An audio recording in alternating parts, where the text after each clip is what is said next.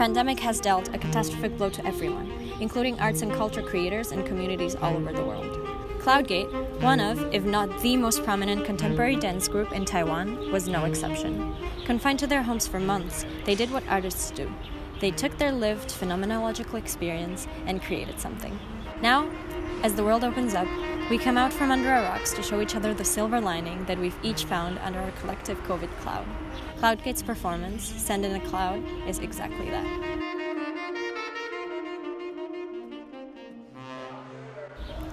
What do you feel when you're isolated? The director, Cheng Tsung-lung, worked with each of the 25 dancers independently to create solo and duo performances, expressing an emotion they each felt during the lockdown. When they couldn't meet in person, they worked over Zoom from their living rooms.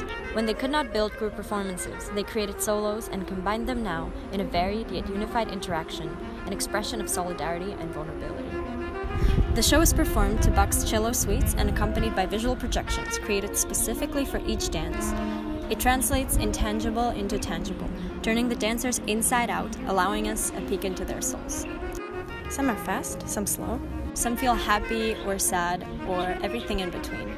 Anxious, frivolous, joyful, contemplative, lonely, curious, or desperate. All deeply personal. There's a great power in their vulnerability, as well as in the fact that we can't define or reliably categorize the exact emotions. Although out in the open, the dances remain personal property of the performers. A whole is more than a sum of its parts, and so it is with this dance performance. Sometimes the soloist is alone on stage, other times she's accompanied by other bodies, providing a backdrop to her expression. The performance climaxes when all the dancers meet on stage, merging their individual emotions in a complex interaction. From this interaction emerges an intensity, a catharsis of the plethora of emotions felt and expressed in the show. The repertoire of Cloudgate Dance Theater reflects the changing status of Taiwan over the past three decades. The work of the founder and director, Lin Huai-min, and his successor, Cheng Tsung-lung, synthesizes the contemporary with historical and traditional, creating a unique Taiwanese language of movement.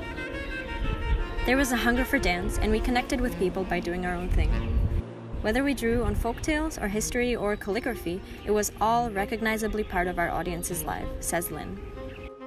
Lin refers to himself as a garbage can of a choreographer. Cloud Cloudgate's productions take inspiration from India, Europe, and elsewhere in Asia, as well as from home.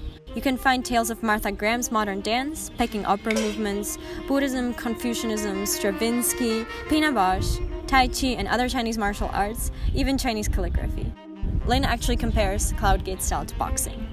In our dance and in martial arts, you are relaxed in preparation for moments of great intensity. You make a gesture and then you subside again like a wave. And we don't try to elevate and defy gravity. We submit to gravity and attempt to find a harmony with the earth.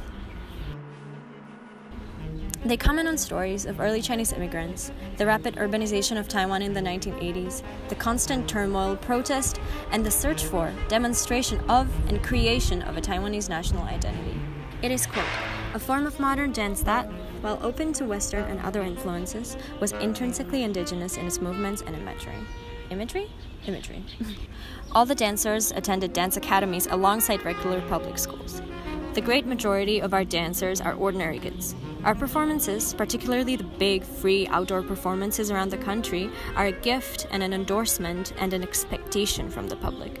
And the dancers are connected to the society because it is made up of their cousins and neighbors and parents, even when we are performing in the country to farmers and melon sellers, says Lin.